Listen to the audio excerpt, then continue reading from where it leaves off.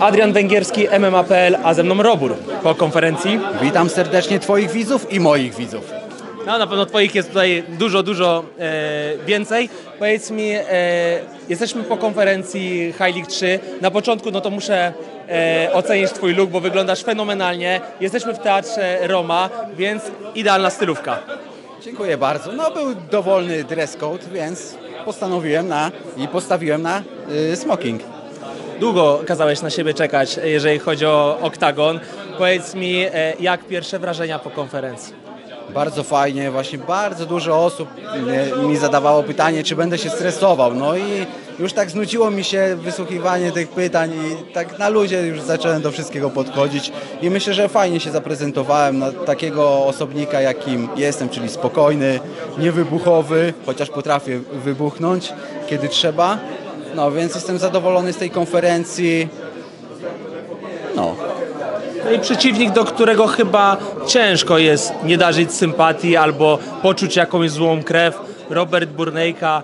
E, powiedz mi, czy to była pierwsza propozycja, która padła w Twoją stronę, czy to był Twój świadomy wybór? Kilka ogólnie propozycji było, ale tam się te zestawienia e, mieszały. Nie chciałbym też zdradzać w sumie szczegółów, ale w końcu stanęło na tym, że będzie takie właśnie zestawienie 10 na 10 freakowe. Na początku nie byłem taki przekonany do tego, bo wiadomo, ten spo poziom sportowy teraz jest tak, wiesz, głośno o nim, że te walki takie sportowe muszą być, ale na spokojnie do tego podszedłem, właśnie porozmawiałem z bliskimi, znajomymi, każdy był pozytywnie zaskoczony, zajarany tym zestawieniem, więc też tak właśnie sobie zacząłem układać to w głowie, że w końcu to jest gala freakowa i ta, ta, takiego show ludzie oczekują, więc damy to show im. Ale gala freakowa, ale my wiemy, że ty się przygotowujesz na 120%, że jeżeli w coś wchodzisz, to poświęcasz się e, maksymalnie. Postawiliście oktagon e, w, swojej, e, w swoim gymie, mogę to tak nazwać, i rozumiem, że tylko tam e, trenujesz, sprowadzacie trenerów, między innymi Kamila Gniatka, czy też e, gdzieś tam e, odwiedzacie inne kluby? Głównie to trenuję na salce u Norberta. Daszkiewicz. Daszkiewicza, tak. I przygotowuję się z nim i z Kamilem Gniatkiem. Ym, Fajny zespół, bardzo pozdrawiam Was, chłopaki. I często robimy właśnie sparingi u nas w oktagonie, bo głównie treningi u nich na, na salce, a sparingi robimy właśnie w oktagonie, żeby się oswoić też y, z, tak jakby z tą przestrzenią. Nawet sporawy mamy ten oktagon. Ciut mniejszy od tych takich właśnie na, na High League'u. I no i człowiek tak się oswaja, żeby tam gdzieś pod siatką się przypadkowo nie znaleźć i też z dźwiękiem tych desek w, w oktagonie, więc gdzieś to też mi tutaj na, na plus działa, że jest ten oktagon i tak jakby już troszkę się z nim oswoiłem, szczerze powie, powiedziawszy. Robert, powiedz mi, e, czy udaje Ci się sparować, czy sparujecie z owcą, e, czy może z pączkiem, e, no ale bardziej z owcą, no bo to jednak bliższa kategoria wagowa. Nie, nie, właśnie z innymi osobami sparuję, z trenerami oczywiście. Są mocne te sparingi, czasami z taryfą ulgową, ale częściej bez taryfy ulgowej. Więc jak ostatnio dowaliliśmy sparring, to gnaty bolały przez trzy dni. No teraz czekają mnie sparingi też z cięższymi dużo zawodnikami, osobami tam po 130, nawet i 160 kg słyszałem. No, więc jest, jest ogień w przygotowaniach. A stejki jesz, bo to może zrobić robotę. Ależ oczywiście, stejki, właśnie jakaś wołowinka jak Robert Burnejka, jak kanapeczki są, widziałem, ale porządek. kanapeczki są porządne, nie tam takie właśnie kanapeczki, jak to mówi Robert Burnejka. Więc jeśli chodzi o właśnie jedzonko, to jest wszystko 10 na 10 tutaj z tej strony z- zadbane.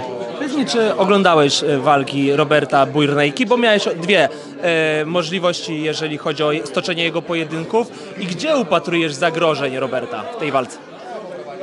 Widziałem jego walki, oczywiście nie chciałbym, żeby moja walka tak wyglądała. Chciałbym, żeby właśnie tutaj też z mojej strony była większa presja niż na przykład ze strony ozdoby, gdzie uciekał. Właśnie mi się tamte walki jego nie podobały, więc nie chcę, żeby moja tak wyglądała i pewnie też gdzieś będę musiał bardziej zaryzykować, żeby iść do przodu, a nie się wycofywać. No ale oczywiście gabaryty nie, nie pomagają, tak? Ale gdzieś też trzeba dostrzegać w nich plusy, jeśli chodzi ze strony właśnie Roberta, że on musi dostrzegać w nich plusy, bo gdzieś tam może kąsnąć. Wiadomo, ten cios może być pchany, ale ręka jego waży. Jest wiadomo, że łatwiej jest mi yy, zrobić unik przed takim gabarytem niż przed właśnie jakimś szybszym zawodnikiem, ale trzeba uważać, bo tam będzie stres, spina, trzeba pilnować właśnie ryja, koncentracja, spokojnie. Jestem spokojny na co dzień, więc potrafię się skoncentrować, będzie git. Odpuściłeś sporty siłowe, cały ten, e, cały trening e, po prostu ewoluował i tylko sporty walki? Nie, nie odpuściłem. Staram się robić 7-8 treningów MMA w tygodniu. Raz, max, dwa razy w tygodniu jakieś bieganie, czy to też jakiś charakter interwałowy lub spokojne, powiedzmy 10 km, 15. Nie przesadzam też, bo to tutaj by, by za- zaszkodziło mojej regeneracji. E, Siłownia, jeśli chodzi o objętość, no to na pewno jest mniej ćwiczeń, jakieś tam moje ulubione, wyciskanie wąskie, e, martwy ciąg, przysiad, kilka dodatkowych jakichś ćwiczeń, na pewno wolne ciężary, jakieś wysuwanie, gdzieś gdzie może mi się ta powiedzmy siła przydać w parterze, ale to są maks dwa treningi na siłowni i bardzo tak jakby okrojone, powiedzmy 40-minutowe, konkretne ćwiczenia, bardziej siłowy taki impuls, żeby tą siłę podtrzymać i żeby się nie, nie pompować tak kulturystycznie, bo później jak za bardzo bym się pompował na siłowni, to później właśnie na sparingach i walce łatwiej jest to ciało spompować.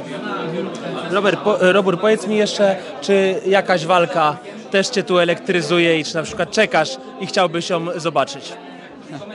No na pewno czekam na, kurde, nie będę ukrywał, na zwycięstwo Dubiela, bo tak każdy stawia go, no może w sumie nie każdy, jako przegranego, no ale myślę, że tutaj z, z, dużo osób zostanie zaskoczonych, bo obstawiam właśnie, że Dubiel fajnie zaskoczy, ale ogólnie czekam na wszystkie walki, bo ja lubię og- og- oglądać yy, gale frikowe, niefrikowe, i tak jakby czerpać przyjemność z, każdego zestawienia, jakie by nie było. Zawsze coś może nas zaskoczyć, wydarzyć się dziwnego, nie dziwnego. Zaw- zawsze wiadomo, jakaś walka nudna się trafi, jedna bardziej weselsza. No, na, wszystk- na wszystkie zestawienia w sumie czekam, tak naprawdę. A czy oczami przyszłości jesteś w stanie powiedzieć, że gdybyś wygrał, gdyby fajnie pokazał się z Robertem Burnejką, to czy chciałbyś na przykład skrzyżować e, rękawice z paszą bicepsem i pomścić kolegę z teamu? Tak, taki jest plan. Właśnie chcę się zaprezentować bardzo dobrze na tej walce. I później właśnie chciałbym takiego zestawienia właśnie z Jarkiem i, i tutaj tak jakby powiedzmy zrobić powiedzmy rewanż za, za owcą. Żeby wyrównać e, rachunki warszawskiego koksa. Tak, tak, ale na razie koncentruję się na tej walce i jak się wszystko dobrze potoczy, no to jedziemy właśnie dalej i będziemy rozmawiać. Robert, bardzo dziękuję za wywiad, no i powodzenia na najbliższej walce. Dziękuję bardzo i widzowie mojego kanału, Twojego kanału, rośnijcie duzi. Dziękuję bardzo.